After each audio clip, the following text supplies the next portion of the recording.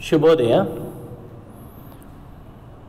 ಪ್ರಥಮ B com ತರಗತಿಯಲ್ಲಿ ಎರಡನೆಯ ಪದ್ಯಭಾಗ ವಚನಗಳನ್ನು ಪರಿಚಯಿಸಿದರೆ ಆ ವಚನಗಳನ್ನು ನಾವು ಈಗ ನೋಡ್ತಾ ಹೋಗೋಣ. ಪ್ರಮುಖವಾಗಿ ವಚನ ಅಂದರೆ ಮಾತು ಅನ್ನುವಂಥ ಅರ್ಥ. ವಚನ ಅಂದರೆ ಒಂದು ಪ್ರಮಾಣ ಅನ್ನುವಂಥ ಅರ್ಥವನ್ನು ಕನ್ನಡ ಭಾಷೆಯಲ್ಲಿ ನಾವು ಕಾಣ್ತಾ ಹೋಗ್ತೀವಿ. ಇಲ್ಲಿ ವಚನಗಳು ಹನ್ನೆರಡನೇ ಶತಮಾನದಲ್ಲಿ ಕರ್ನಾಟಕದಲ್ಲಿ ಉದಯಿಸಿ ಇಡೀ ಜಗತ್ತಿನಾದ್ಯಂತ ಪಸರಿಸಿದಾವೆ ಅಂತಂದರೆ ಆ ವಚನಗಳಲ್ಲಿರುವಂತಹ ವಿಶೇಷತೆ ಅಷ್ಟೊಂದು ಅಭೂತಪೂರ್ವವಾದುದು ಅನ್ನುವಂಥದ್ದನ್ನು ನಾವು ಈ ಸಂದರ್ಭದಲ್ಲಿ ನೆನ್ಪಿಟ್ಕೊಳ್ಬೇಕು. ಯಾಕೆ ಅಂದರೆ ಹತ್ತನೇ ಶತಮಾನದ ಸಾಹಿತ್ಯ ರಾಜಾಶ್ರಯದ ಸಾಹಿತ್ಯವಾಗಿತ್ತು. ನಂತರ ಸಾಹಿತ್ಯ ಅನ್ನುವಂಥದ್ದು ಹರಿಯುವ ನೀರಿನ ಹಾಗೆ ತನ್ನದೇ ಆದಂತಹ ಒಂದು ದಿಕ್ಕುಗಳನ್ನು ಸ್ಥಾನ ಪಲ್ಲಟಗಳನ್ನ ಪಲ್ಲಟಗಳನ್ನು ಕಾಣ್ತಾ ಹೋಗ್ತದೆ.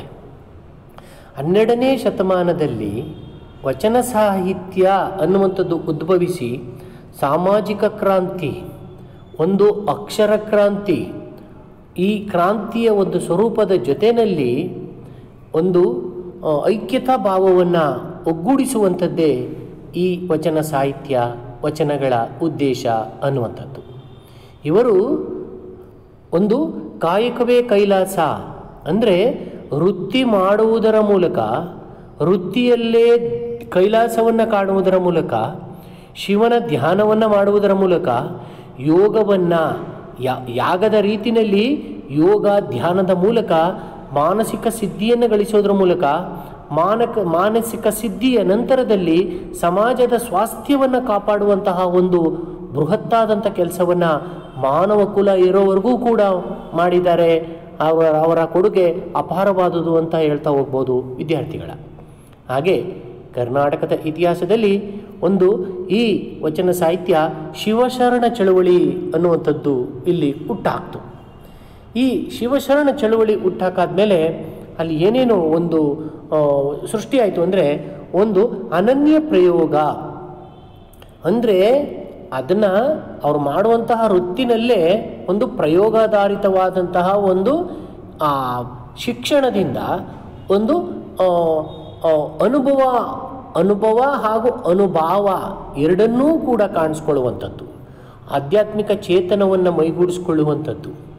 ಸಮಾಜದ ಎಲ್ಲ ವರ್ಗ ವರ್ಣಗಳಲ್ಲಿಯೂ ಕೂಡ ಒಂದೇ ಎನ್ನುವಂಥ ಅಭಿಪ್ರಾಯವನ್ನು ಮೂಡಿಸುವಂತಹ ಐಕ್ಯತಾ ಭಾವನೆ.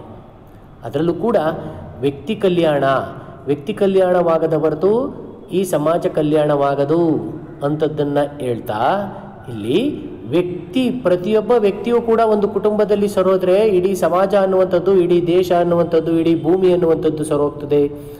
ಇಡೀ ವ್ಯಕ್ತಿಗಾಗಿ ನಾವು ನಾವು ಒಂದು ವ್ಯಕ್ತಿಯನ್ನು ಸರಿಪಡಿಸದಿದ್ದರೆ ಸಮಾಜ ಸುಧಾರಿಸದು ಎನ್ನುವಂಥದ್ದನ್ನು ಹೇಳ್ತಾ ನಾವು ಅಂತರಂಗ, ಬಹಿರಂಗ ಪರಿಶುದ್ಧತೆಯನ್ನು ಹೇಳ್ತಾ ಅಂತರಂಗದ ಪರಿಶುದ್ಧತೆಗೆ ಹೆಚ್ಚು ಮಾನ್ಯತೆಯನ್ನು ಕೊಟ್ಟಂಥದ್ದು ಈ ಭಾಗದ ಒಂದು ಮಹತ್ವಪೂರ್ಣವಾಗಿ ಪರಿಣಮಿಸಿದೆ ಅನ್ನುವಂಥದ್ದು. ಇಲ್ಲಿ ವಚನ ಅಂತಂದರೆ ಒಂದು ಗದ್ಯ ಸಾಹಿತ್ಯ ಪ್ರಕಾರವೆಂದೇ ಅರ್ಥ ಅಲ್ಲ. ಅದು ಏನು ಅಂದರೆ ಪ್ರತಿಜ್ಞೆ, ಪ್ರಮಾಣ. ಒಂದು ಆತ್ಮಸಾಕ್ಷಿಯ ಮಾತು ಎನ್ನುವಂಥ ಅರ್ಥ. ನಾವು ಹೆಂಗೆ ನಡ್ಕೊಳ್ತೀವೋ ಹಂಗೆ ನುಡಿ, ನಡೆ ನುಡಿ ಎರಡೂ ಕೂಡ ಒಂದೇ ಆಗಿರುವಂಥದ್ದು ಎನ್ನುವಂಥ ಅರ್ಥ. ಈ ನಡೆ ಒಂದು ನುಡಿಯೊಂದು ಆದರೆ ಅದು ಸರಿ ಬರಲ್ಲ ಜೀವನದಲ್ಲಿ.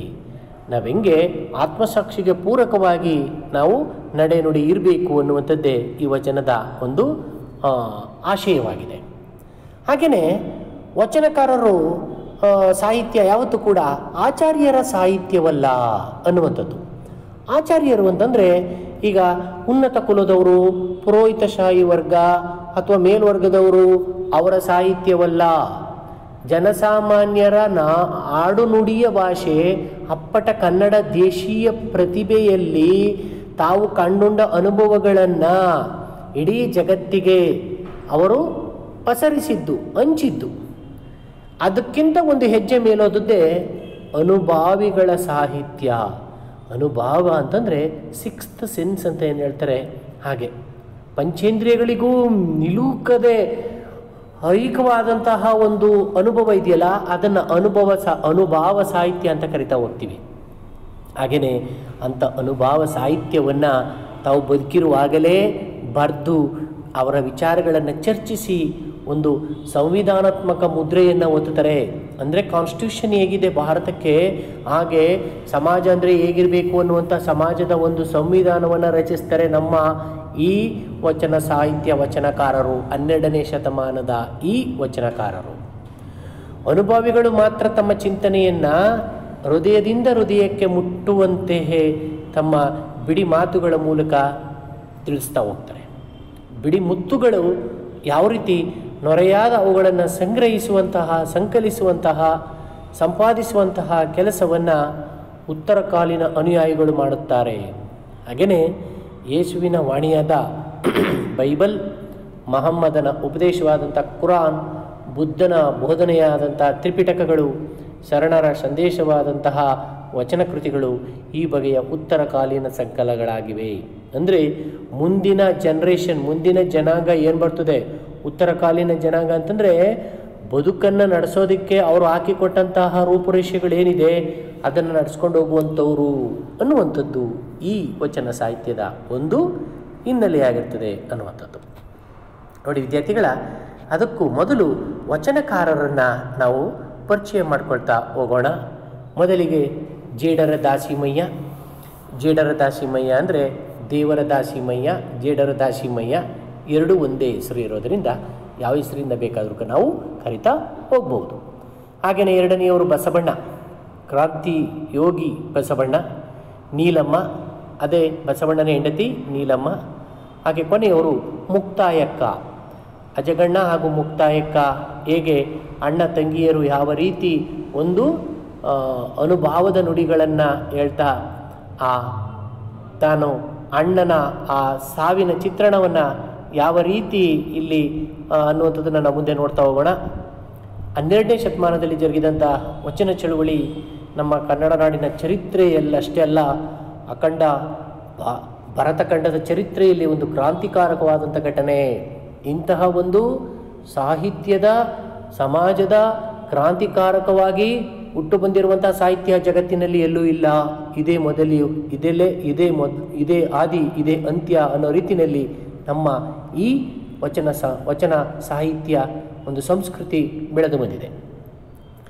ಸಮಾಜದ ಎಲ್ಲ ವರ್ಗದವರನ್ನೂ ಕೂಡ ಒಂದೆಡೆ ಸೇರಿಸಿ, ಜನರ ಅರಿವಿಗೆ, ಜನರ ನಿಲುವಿಗೆ ನಡೆ, ನುಡಿ, ಆಚಾರ, ವಿಚಾರ, ತಮ್ಮ ಬಾಳಿನಲ್ಲಿ ಕವಿದಿರುವಂಥ ಕತ್ತಲನ್ನು ಯಾವ ರೀತಿ ಹೋಗ್ಲಾಡಿಸ್ಬೇಕು, ತಾವು ಯಾವ ರೀತಿ ಒಂದು ಬೆಳಕಾಗಬೇಕು ಸಮಾಜಕ್ಕೆ ಅನ್ನುವಂಥದ್ದನ್ನು ಇವರು ತಾವು ದುಡಿಮೆಯಲ್ಲೇ ಒಂದು ದೈವವನ್ನು ಕಾಣ್ತಾ, ಹಾಗೆ ದಾಸೋಹಗಳ ಪರಿಕಲ್ಪನೆಯಲ್ಲಿ ತಾವು ದಾನವನ್ನು ಮಾಡೋದ್ರ ಮೂಲಕ, ಬದುಕನ್ನು ಹಸನಗೊಳಿಸೋದ್ರ ಮೂಲಕ, ಧರ್ಮ ಅಂದರೆ ಏನು, ಕರ್ಮ ಅಂದರೆ ಏನು, ಧರ್ಮವನ್ನು ಯಾವ ರೀತಿ ಸಂಪಾದನೆ ಮಾಡಬೇಕು ಅನ್ನೋದನ್ನು ತಿಳಿಸ್ತಾ, ಕಲ್ಯಾಣ ರಾಜ್ಯದ ಕನಸನ್ನು ಮಾಡಲು ತೊಡಗಿದಂತಹ ಆಂದೋಲನ.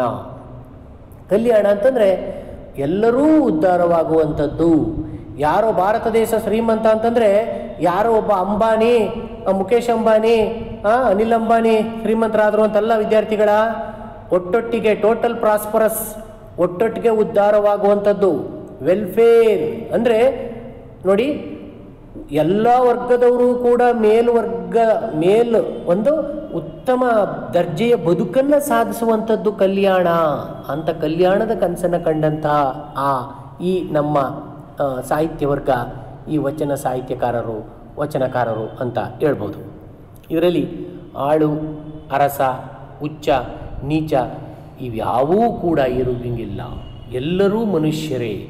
ಎಲ್ಲರೂ ಪ್ರೀತಿಯಿಂದ ಆರೋಗ್ಯಕರವಾದಂತಹ ಒಂದು ಬದುಕನ್ನು, ಒಂದು ಸಮುದಾಯವನ್ನು, ಒಂದು ಸಮಾಜವನ್ನು ಕಟ್ಟುವಂತಹ ಒಂದು ಆಶಯ ಈ ಆಂದೋಲನದ ಗುರಿಯಾಗಿತ್ತು. ಆ ಆಂದೋಲನ ಆ ಗುರಿ ಆದದಕ್ಕೋಸ್ಕರನೇ ಹುಟ್ಟಿದ್ದೇ ಈ ನಮ್ಮ ವಚನ ಸಾಹಿತ್ಯ. ಈಗ ನೋಡ್ತಾ ಹೋಗೋಣ ಒಬ್ಬೊಬ್ಬರಾಗಿ ನಾವು. ಮೊದಲಿಗೆ ಜೇಡರ ದಾಸಿಮಯ್ಯ ಅಥವಾ ದೇವರ ದಾಸಿಮಯ್ಯ ಅವನ ವಚನಗಳನ್ನು ನೋಡ್ತಾ ಹೋಗೋಣ.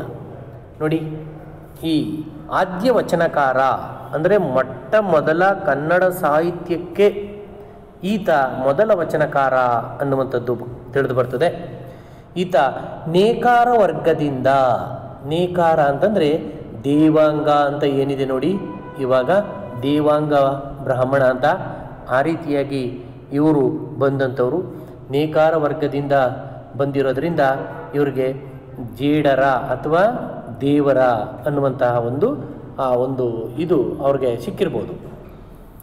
ಲಿಂಗಭೇದ ಮತ್ತು ಮೌಢ್ಯಗಳನ್ನು ವಿರೋಧಿಸಿದಂಥವರು, ಗಂಡು ಶ್ರೇಷ್ಠ, ಹೆಣ್ಣು ಕನಿಷ್ಠ, ಅದನ್ನೆಲ್ಲ ಧಿಕ್ಕರಿಸಿದಂಥವ್ರು. ಹಾಗೂ ಸಮಾಜದಲ್ಲಿರುವಂಥ ಮೌಢ್ಯಗಳನ್ನು ಧಿಕ್ಕರಿಸುವುದರ ಮೂಲಕ ಪ್ರಖರ ಚಿಂತಕರಾಗಿ ಹೆಸರುವಾಸಿಯಾದಂಥ ನಮ್ಮ ಈ ರಾಮನಾಥ ಎನ್ನುವಂತಹ ಒಂದು ಅಂಕಿತನಾಮವನ್ನು ಇಟ್ಕೊಂಡು ಈ ಇವನ, ಇವ ಎಲ್ಲ ಈ ದೇವರ ದಾಸಿಮಯ್ಯನ ಎಲ್ಲ ಒಂದು ಕೆಲಸಕ್ಕೆ ಸಮಾಜದ ಒಂದು ಔನ್ ಔನ್ನತ್ಯಕ್ಕಾಗಿ ಈತನ ಹೆಂಡತಿಯಾದಂತಹ ದುಗ್ಗಳೆಯು ಕೂಡ ಬಹಳ ಉತ್ತಮವಾದಂತಹ ಒಂದು ಮಾರ್ಗವನ್ನು, ಒಂದು ಗುರಿಯನ್ನು ಹಾಕೊಟ್ಟಂಥವಳು ಇವಳು ಕೂಡ ವಚನಕಾರ್ತಿಯಾಗಿದ್ಲು ಅನ್ನುವಂಥದ್ದನ್ನು ನಾವು ಈ ಸಂದರ್ಭದಲ್ಲಿ ನೋಡ್ತಾ ಹೋಗ್ತೀವಿ. ಇದಾದ ನಂತರ ನಮಗೆ ಬರುವಂಥವರೇ ಬಸವಣ್ಣ, ಜಗಜ್ಯೋತಿ ಬಸವಣ್ಣ ಅನ್ನುವಂಥದ್ದು. ನೋಡಿ, ಅವರ ಭಾವಚಿತ್ರ ಎಷ್ಟು. ಆ ಮುಖದಲ್ಲಿ ಕಾಂತಿ, ತೇಜಸ್ಸು ಒಂದು ದಿವ್ಯ ಸ್ವರೂಪವಾದಂತಹ, ನಿಜವಾದಂತಹ ಶಿವನೇ ಇಡೀ ಭೂಲೋಕಕ್ಕೆ ಬಂದ ನೀನು ಅನ್ನುವಂಥ ಒಂದು ವ್ಯಕ್ತಿತ್ವವನ್ನು ನಾವು ಕಾಣ್ತಾ ಹೋಗ್ತೀವಿ ವಿದ್ಯಾರ್ಥಿಗಳ.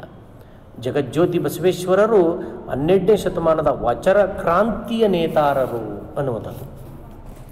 ಇಲ್ಲಿ ಈ ನಮ್ಮ ಬಸವಣ್ಣ ಸಮಾಜವನ್ನು ಉದ್ಧಾರ ಮಾಡುವುದಕ್ಕೋಸ್ಕರ ಧಾರ್ಮಿಕ ಆಂದೋಲನದ ಕೇಂದ್ರ ವ್ಯಕ್ತಿಯಾಗಿದ್ದವರು ಇವರು ಅನ್ನುವಂಥದ್ದು. ಇವರ ಊರು ಬಿಜಾಪುರ ಜಿಲ್ಲೆಯ ಬಸವನ ಬಾಗೇವಾಡಿ ಅನ್ನುವಂಥದ್ದು. ತಾಯಿ ಮಾದರಸ, ತಾಯಿ ಮಾದಲಾಂಬಿಕೆ. ಆ, ಕಳಚೂರಿ ಬಿಜ್ಜಳನ ಆಸ್ಥಾನದಲ್ಲಿ ಮಹಾಮಂತ್ರಿಯಾಗಿದ್ದಂಥವರು, ಬಿಜ್ಜಳ ಮಂತ್ರಿಯಾಗಿದ್ದಂಥ ಸಂದರ್ಭದಲ್ಲಿ ಇಲ್ಲೂ ಕೂಡ ಸಾಹಿತ್ಯವನ್ನು ಶ್ರೀಮಂತಗೊಳಿಸಿರುವಂಥದ್ದು. ಇವರ ಉದ್ದೇಶ ಏನು ಅಂದರೆ, ಏಕದೇವೋಪಾಸನೆ. ಅಂದರೆ ದೇವರು ಒಂದೇ ನಾಮ ಹಲವು ಎನ್ನುವಂಥದ್ದು. ಹಾಗೆಯೇ ಅಸ್ಪೃಶ್ಯತಾ ನಿವಾರಣೆ. ಮನುಷ್ಯ ಹುಟ್ಟುತ್ತಾ ಪ್ರಕೃತಿಯಲ್ಲಿ ಯಾವುದು ಭೇದ ಭಾವ ಇಲ್ಲ. ಅಂಥದ್ರಲ್ಲಿ ನಾವು ಅಸ್ಪೃಶ್ಯತೆಯ ನಿವಾರಣೆ ಮಾಡಬೇಕು ಅಂತ ಹೇಳಿ ಹೋರಾಟ ಮಾಡಿದಂಥವ್ರು, ಸಾಮಾಜಿಕ ಕ್ರಾಂತಿಗೆ ಒಂದು ಮುನ್ನುಡಿಯನ್ನು ಹಾಡಿದಂಥವ್ರು, ವೃತ್ತಿ ಗೌರವ. ವ್ಯಕ್ತಿಯನ್ನು ಒಬ್ಬ ಚಪ್ಪಲಿ ಒಲಿಯೋನಿಂದ ಹಿಡಿದು, ಒಬ್ಬ ಕಸ ಗುಡಿಸೋನಿಂದ ಹಿಡಿದು ಯಾವತ್ತೂ ಕೂಡ ನಾವು ಅವನನ್ನು ನಾವು ಕೀಳಾಗಿ ಕಾಣಬಾರ್ದು. ಅವನೇನಾರ ಕೀಳ ಕಂಡದ್ದೇ ಆದರೆ ಅದು ವ್ಯಕ್ತಿಗೆ ಕೊಡುವಂಥ ಗೌರವವಲ್ಲ ಅನ್ನುವಂಥದ್ದನ್ನು ಹೇಳ್ತಾ, ಸ್ತ್ರೀ ಸಮಾನತೆ, ಕಾಯಿಕ ಮಹತ್ ಮಹತ್ವ ಹಾಗೂ ಮೌಢ್ಯ ಖಂಡನೆ. ಸಮಾಜದಲ್ಲಿದ್ದಂತಹ ಕೆಟ್ಟ ಒಂದು ನಡೆನುಡಿಗಳನ್ನು ಖಂಡಿಸುವುದರ ಮೂಲಕ ಇವರು ಹೇಳ್ತಾರೆ. ಹಾಗೂ ಜೀವನ ಮೌಲ್ಯಗಳನ್ನು ಸಾರುತ್ತಾ ಕೂಡಲ ಸಂಗಮ ದೇವ ಎಂಬ ಅಂಕಿತನಾಮದಿಂದ ಇವರು ಕೂಡ ಪ್ರಸಿದ್ಧರಾಗ್ತಾರೆ ಅನ್ನೋದನ್ನು ನಾವು ಕಾಣ್ತಾ ಹೋಗ್ತೀವಿ. ಮುಂದೆ ನೀಲಮ್ಮ. ನೋಡಿ, ಈ ಮಹಾತಾಯಿ ಬಸವಣ್ಣನವರ ಹೆಂಡತಿ.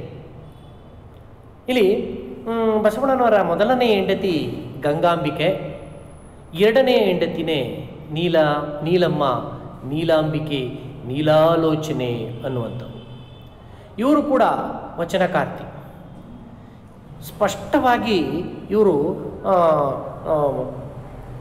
ನಮ್ಮ ಬಸವಣ್ಣನ ಒಂದು ಎಲ್ಲ ಏಳು ಬೀಳುಗಳಲ್ಲೆಲ್ಲ ಸಮ ಪ್ರಮಾಣದಲ್ಲಿ ತಮ್ಮ ಜೀವನವನ್ನು ಹಂಚಿಕೊಂಡಂಥವ್ರು. ಹಾಗೆಯೇ ನೀಲಾಂಬಿಕೆ ಇವರು ಯಾರ ಮಗಳು ಅನ್ನುವಂಥದ್ದು ವಿಷಯ ಉಲ್ಲೇಖ ಆಗಿರೋದಿಲ್ಲ. ಹಂಗಾಗ್ಲಾಗಿ ಇವರು ಹರಿಹರ ಮತ್ತು ಭೀಮಕವಿ ಗಂಗಾಂಬಿಕೆಯೊಂದಿಗೆ ಮಾಯಾದೇ ಮಾಯಾದೇವಿ ಎಂಬ ಹೆಸರನ್ನು ಬಳಸಿರೋದನ್ನು ನೋಡಿದ್ರೆ ಮಾಯಾದೇವಿಗೆ ಕೂಡ ಇನ್ನೊಂದು ಹೆಸರೇ ನೀಲಾಂಬಿಕೆ ಅನ್ನುವಂಥದ್ದನ್ನು ಊಹಿಸಬೇಕಾಗ್ತದೆ ಅನ್ನುವಂಥದ್ದನ್ನು ನಮ್ಮ ವಿದ್ವಾಂಸರು ಇಲ್ಲಿ ಅಭಿಪ್ರಾಯಪಟ್ಟಿದ್ದಾರೆ. ಇವರು ಕೂಡ ಬಸವಣ್ಣನ ಎರಡನೇ ಹೆಂಡತಿಯಾಗಿ ಪರಮ ಒಂದು ಕೆಲಸವನ್ನು ಮಾಡ್ತಾ, ಜೀವನದ ಬದುಕು ಏಳು ಬೀಳುಗಳನ್ನು ತಿಳಿಸ್ತಾ, ಇವರು ಕೂಡ ಒಂದು ವಚನ ಸಾಹಿತ್ಯಕ್ಕೆ ಸ್ಪಷ್ಟವಾದಂತಹ ಒಂದು ಮುನ್ನುಡಿಯನ್ನು ಹಾಕಿದ್ದಾರೆ. ಹಾಗೆಯೇ ಇವರು ಸಮಾಜ ಸುಧಾರಣೆಯನ್ನು ಧಾರ್ಮಿಕ ಜಾಗೃತಿಯ ಮಹಾ ಮಹಾಮಣಿಹವನ್ನು ಒತ್ತ ಬಸವಣ್ಣನಿಗೆ ಹಿನ್ನೆಲೆಯಾಗಿ, ಮುನ್ನೆಲೆಯಾಗಿ ದುಡಿದಂತಹ ಇವಳು ಕಲ್ಯಾಣ ಕ್ರಾಂತಿಯ ಸಂದರ್ಭದಲ್ಲಿ ತಂಗಡಿಯಲ್ಲಿ ಇವಳು ಐಕ್ಯಳಾದಳು ಅನ್ನುವಂತಹ ಒಂದು ಉಲ್ಲೇಖವನ್ನು ಇಲ್ಲಿ ಕಾಣ್ತಾ ಹೋಗ್ತೀವಿ. ಇದಾದ ನಂತರ ನಮ್ಮ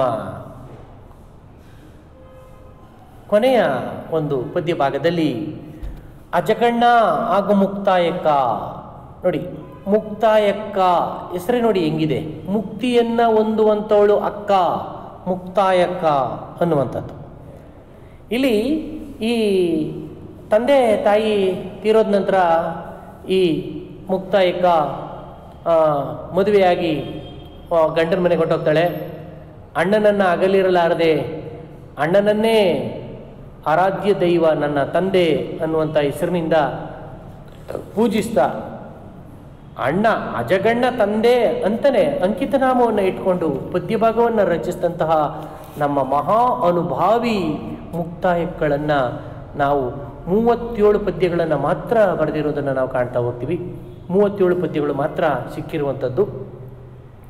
ಮುಕ್ತಾಯಕ್ಕ ಅನುಭಾವಿ ನೆಲೆಯಲ್ಲಿ ತನ್ನದೇ ಆದಂತಹ ಒಂದು ಸುಂದರವಾದಂತಹ ವಚನಗಳನ್ನು ನಾವು ಇಲ್ಲಿ ಆಧ್ಯಾತ್ಮಿಕ ನೆಲೆಯ ಹಿನ್ನೆಲೆಯಲ್ಲಿ ನಾವು ಕಾಣ್ತಾ ಹೋಗ್ತೀವಿ. ಅಜಗಣ್ಣ ಮುಕ್ತಾಯಕ್ಕ ಎಂಥ ಅಣ್ಣ ತಂಗಿ ಆಗಿದ್ರು ಅಂದರೆ ಒಂದೇ ಪ್ರಾಣ, ಎರಡು ದೇಹ ಅನ್ನುವಂಥದ್ದು. ಒಂದು ಬಾರಿ ಇಲ್ಲಿ ಅಜಗಣ್ಣ ಹುಲ್ಲಿನ ಹೊರೆಯನ್ನು ಹೊತ್ಕೊಂಡು ಬರ್ತಾ ಅವನ ಮನೆಯ ವಸ್ತಿಲು ಹಣೆಗೆ ಹೊಡೆದ ತಕ್ಷಣ ಅವನು ಶಿವನಾಮ ಸ್ಮರಣೆಯನ್ನು ಹೇಳಿದ ತಕ್ಷಣನೇ ಆ ಅಂತರಂಗದಲ್ಲಿದ್ದಂಥ ಭಕ್ತಿ ಹೊರಕ್ಕೆ ಬಂದಂಥ ಸಂದರ್ಭದಲ್ಲಿ ಆ ಎಂತಹ ಆ ಪ್ರಮಾದವಾಯಿತು ಅಂತೇಳಿ ಅವಾಗಲೇ ಅವ ಪದ್ಯ ಭಾಗವನ್ನು ಅನುಭವದ ಹಿನ್ನೆಲೆಯಲ್ಲಿ ರಚಿಸ್ತಾ ಹೋಗ್ತಾಳೆ ನಮ್ಮ ಅಕ್ಕ ಮುಕ್ತಾಯಕ್ಕ ಹಾಗೆ ಅಣ್ಣನನ್ನೇ ಗುರುವಾಗಿ ಸ್ವೀಕರಿಸಿದಂತಹ ಮುಕ್ತಾಯಕ್ಕನ ಈ ಪದ್ಯ ಭಾಗವನ್ನು ಕೂಡ ನಾವು ಇಲ್ಲಿ ಒಂದು ಕೊಟ್ಟಿದ್ದಾರೆ. ಅದನ್ನು ನಾವು ನೋಡ್ತಾ ಹೋಗೋಣ. ಮೊದಲಿಗೆ, ಜೇಡರ ದಾಸಿಮಯ್ಯ ಅಥವಾ ದೇವರ ದಾಸಿಮಯ್ಯ ಎಂಬ ಪದ್ಯ ಭಾಗವನ್ನು ನೋಡ್ತಾ ಹೋಗೋಣ. ವಿದ್ಯಾರ್ಥಿಗಳ ಇಲ್ಲಿ ಪ್ರತಿಮೆಗಳನ್ನು ಕೊಡೋದ್ರ ಮೂಲಕ ಬದುಕು ಹೇಗಿದೆ, ಬದುಕು ಹೇಗಿರಬೇಕು ಅನ್ನುವಂಥದ್ದನ್ನು ಹೇಳುವಂಥದ್ದೇ ಇಲ್ಲಿ ವಚನಕಾರರ ಒಂದು ಆಶಯ.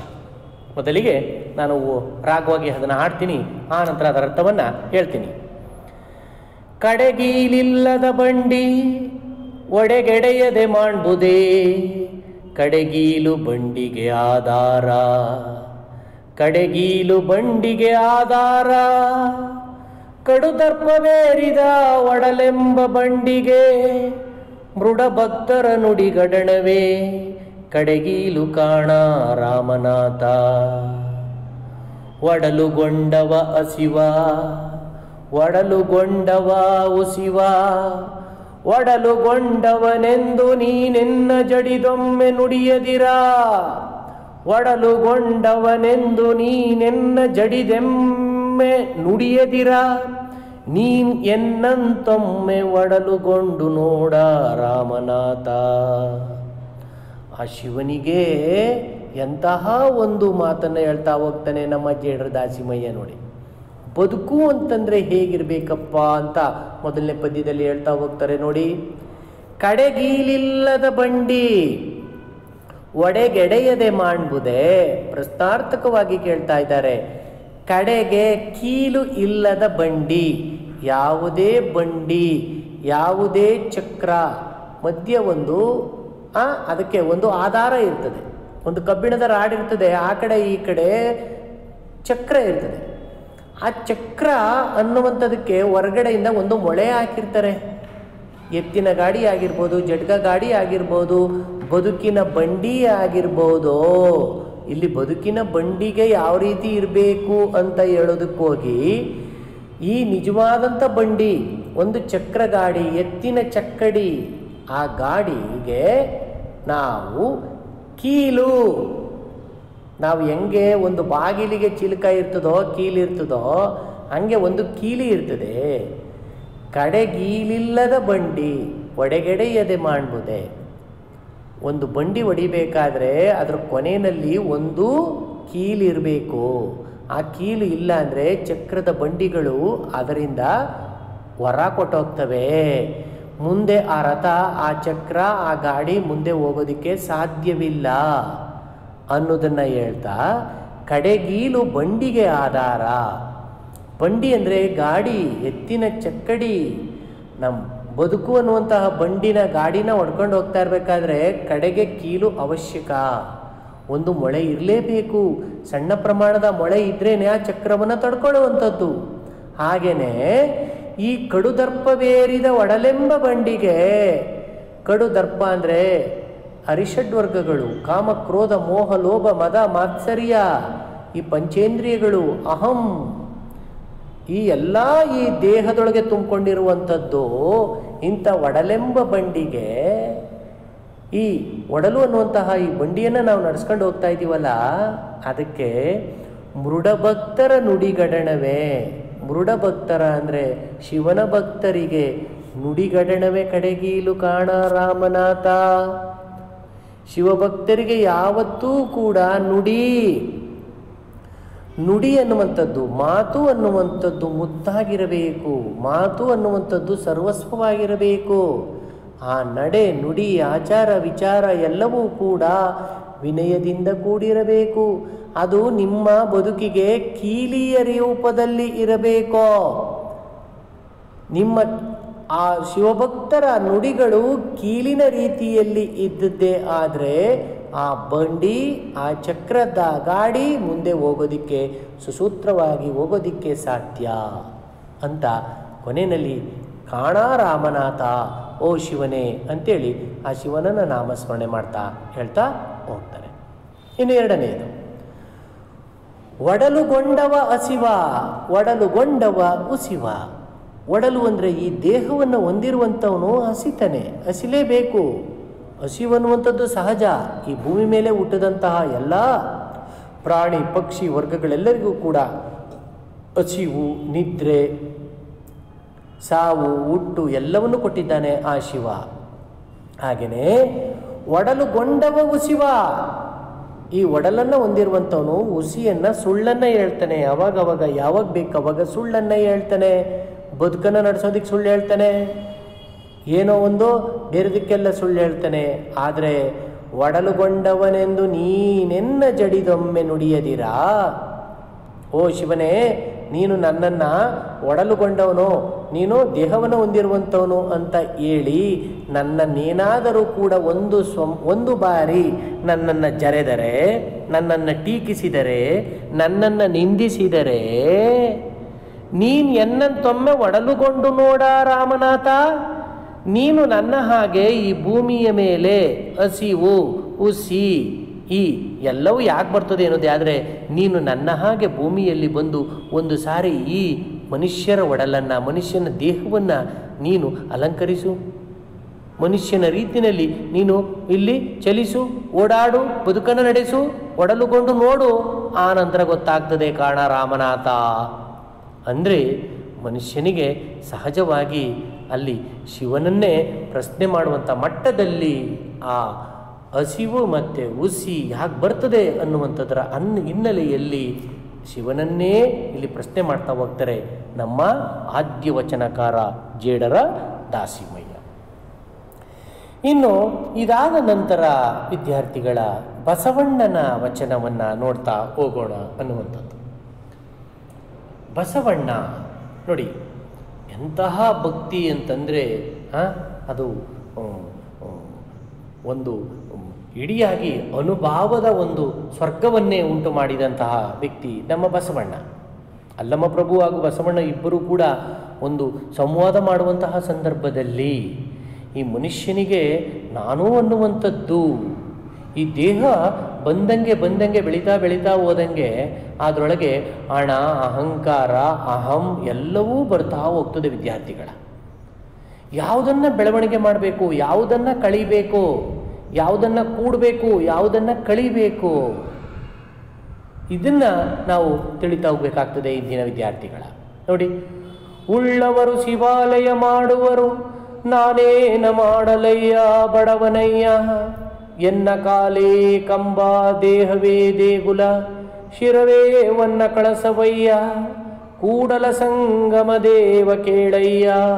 ಸ್ಥಾವರಕ್ಕಳಿವುಂಟು ಜಂಗಮಕ್ಕಳಿವಿಲ್ಲ